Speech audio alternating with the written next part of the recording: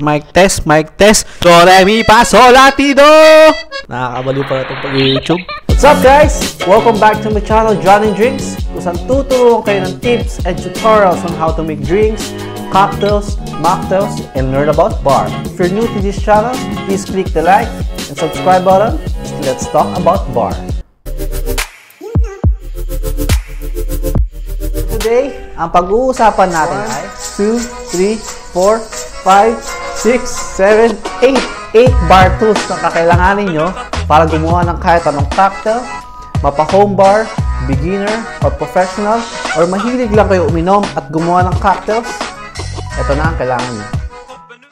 First is shaker. For shaker guys, ang papakita ko sa inyo ang mga pinaka-common na shaker na makikita nyo sa mga bars. Unang shaker is tinatawag nilang Boston Shaker. Ang Boston Shaker ay may dalawang part, ang small part at ang big part. At paano gamitin to? Lalagay mo lang tong maliit sa ibabaw at pupush mo lang siya para mag-lock. Usually, guys, ito ang mga pinipili ng shaker ng mga bartender sa mga bar. Bilis madaling hugasan at madali din siyang buksan. At second shaker is tinatawag nilang cobbler shaker or three-piece shaker. Ang kagandahan sa ganitong shaker guys is pwede kayong makabili ng plastic or stainless. Shaker na to is may tatlong part. Ang body, ang middle, at ang head. At maganda sa shaker na to guys is meron siyang built-in na strainer. So pagtapos yung i-shake, tanggalin nyo lang yung takip, strain nyo na diretso sa, sa baso. Kaya lang guys, ang downside nito is minsan may hirap siyang buksan. May kita nyo mga bartender pinupukpok sa mga lamesa. Kasi nyo guys kung anong kaya ng budget nyo. Pero I prefer ito muna guys, ang plastic kasi mura lang yung ganitong shaker. Siyempre, kailangan natin ng pang-measure ng ingredients natin. Tawag sa pang-measure ng ingredients sa bar is jigger. Maraming klaseng jigger guys. May mga maliliit, may mga malaking size, at meron ding mga fancy jiggers na may mga iba't ibang kulay. May copper, may stainless, pero isa lang ang purpose nun is to measure your ingredients. For example, yung gantong jigger, itong malaking size is 2 ounce siya, at sa kabila naman is 1 ounce. Pero usually, ang mga bartenders, may kita nyo ang gantong jigger. Dalas. Kasi ang advantage ng gantong jigger, sa loob guys, ay meron siyang mga lines. So, ang mga lines na yun is nag indicate ng mga iba't ibang measurement. For example, may half ounce, may 1 ounce, at meron diyang 1 and a half ounce, at itong malaki is 2 ounce. So, if ever may makita yung gantong jigger, grab nyo na yan guys kung medyo kaya nyo kasi isang jigger lang ang kailangan nyo at maraming measurement na makukuha nyo guys. And next is bar spoon. Kailangan natin guys ng bar spoon for stirring drinks or para haluin natin yung mga ingredients. At usually, ang makikita nyo mga bar spoons yung mahaba at may mga spiral siya. Spiral na to ay hindi lang siya for design purposes. Nakakatulong din siya guys for stirring your drinks. Once nilagay nyo yung bar spoon sa baso or any mixing glass at hinawakan nyo at in-stir nyo, nakakatulong yung spiral na to sa pag-ikot. And makikita nyo sa mga bar spoon guys is iba't iba yung mga dulo niya sa dulo niya. Pero meron sa taas ng mga heavy metal para mabalance yung pag-steer. At meron ding katulad nito na parang hammer siya na multi-purpose. Pwede nyo siyang gamitin guys for muddling fruits, herbs, or mga kahit anong pwede nyo i-muddle. And number 4 is muddler. Guys, kailangan natin ng muddler especially kung cocktail na gagawin natin is may fresh fruit o kaya mga herbs.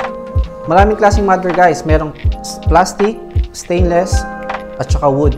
Pero I prefer guys, kunin yung stainless. Kasi madali lang siya hugasan at magagamit siya sa for long term. So fifth guys, is kailangan natin ng strainer. Tawag sa gantong strainer is Hawthorne strainer. O Hawthorne. Basta yun na yun. Ang gantong strainer guys is meron siyang spiral. Usually ginagamit ng gantong strainer sa mga Boston Boston shaker. Sakto siya guys. Or pwede rin sa gantong shaker. Sa 3-piece shaker. Pero hindi nyo na kailangan ng, sa ganito guys kasi meron na siyang built-in strainer sa loob. Pero ang ginagamit lang usually ang Hawthorne, Hawthorne, Hawthorne, isang mga shaker na Boston shaker. Kailangan nyo siya guys. Bili na kayo. Mura lang siya. Bili na kayo. Number 6 is squeezer. For squeezer, maraming kulay yan guys. Orange, may yellow, may green, may white. Pare-parehas lang yun. pang squeeze lang ng prutas mo yun. Isa to sa essential equipment sa bar. Kasi especially, pag marami kang mga lime or lemon na gustong squeeze, mahirap mag-squeeze ng kamay lang, especially kung may sugat kayo guys. Mahapdi yon. So I prefer kung kaya yung makabili ng squeezer, malaking tulong yun guys at hindi siya messy. Lalo na pag nag-i-squeeze kayo ng mga fruits or lime, lemon, orange at iba pa. Number 7 is kutsilyo o knife. Paano mo hiwain yung prutas mo kung wala kang kutsilyo? Panigurado yan guys, may kutsilyo naman kayo sa bahay at chopping board. Yung chopping board ko. Any kind of knife pwede nang gamitin yung guys. Mapa, paring knife, baby knife, chef knife, butter knife. Pero ang pinaka-paborito knife guys is butter knife. Malupit to. Kahit ano kayang hiwain nito. At pag ito ang gamit yung knife guys, mabilis kayo maghiwa. Kahit nulok pa magagawa nyo. so yun guys, knife. Number 7. Number 8, kung taga-hotel ka or nag-work ka sa restaurant, alam nyo to. Ito yung tipong pagpasok mo at hanggang pag-uwi mo ng trabaho, bit bit bit bit mo to. Ano to? Corkscrew.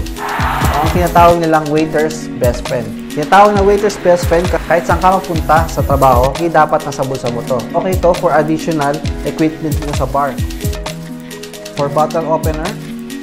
At also meron siyang small knife na pwede niyong pang-cut ng kahit ano. There you go! 8 bartels lang. Makakagawa ka na ng kahit anong cocktail. Kung gusto niyo pa makakita ng ganitong klaseng video, please comment down below kung ano pa ang gusto niyo matutunan. And please don't forget to click the like and subscribe button.